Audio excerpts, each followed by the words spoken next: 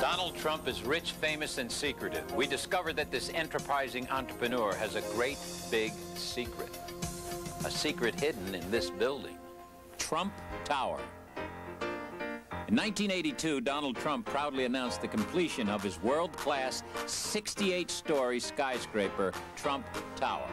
Many of these very wealthy people have chosen Trump Tower, and I think it's a very important step for New York. I think it's a vital step for New York. Let me go a little further. You know, there's nothing wrong with uh, being rich.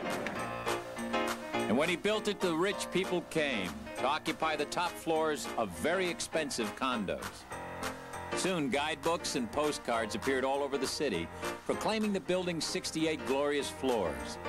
But wait a minute. This architect's drawing reveals just 58 floors. What happened to the missing 10 floors? Have people been fooled? You be the judge. The first five levels are exclusive shops. Then there are 14 floors of offices. There's one floor of mechanical equipment. Add it all up, that takes you up to the 20th floor. But it's labeled the 30th floor. It's a very interesting building because it was marketed as a 68-story building, but it's only 58 stories. This man should know. He's Trump Tower's supervising architect, John Barry. Donald Trump was always uncomfortable uh, with the phrase 58. And he came to us one day in a project meeting and said that he had found a way to uh, market the building uh, in a more positive fashion uh, by calling it a 68-story building.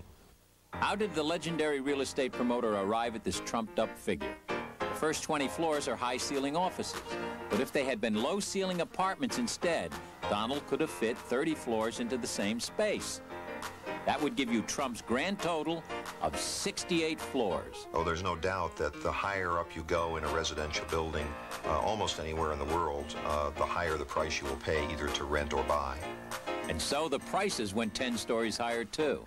Now you know the secret of Trump Tower. Everything Donald did is perfectly legal.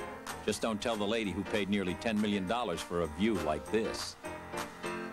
Eight years ago, I must say I was embarrassed to say I was in the real estate business in New York. Today, I can honestly say I'm proud of it.